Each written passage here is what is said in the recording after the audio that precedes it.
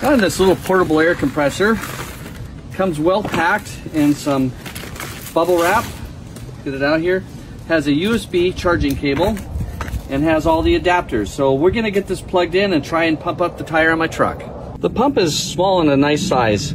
The display's up here for changing everything. We have the light and power switch here, and then on the bottom is where we plug in our power cable. The 12 volt lighter plug on my truck doesn't work, so I have this battery that I use to use my pump because my tire keeps going flat. I need to get it replaced.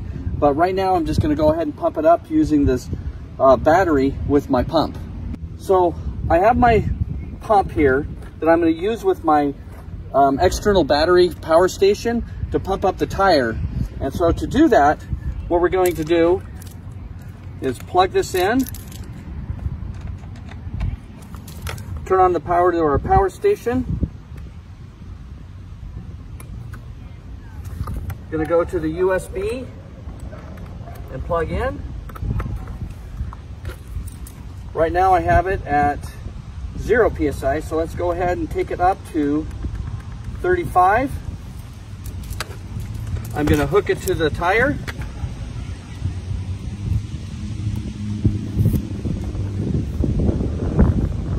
And we're going to turn it on here.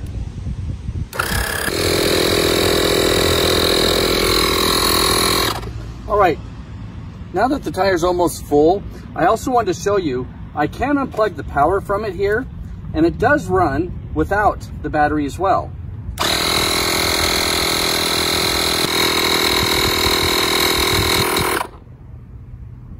All right, it's reached its pressure now, shut off automatically. Works well either wire without a battery plugged into it or on its own.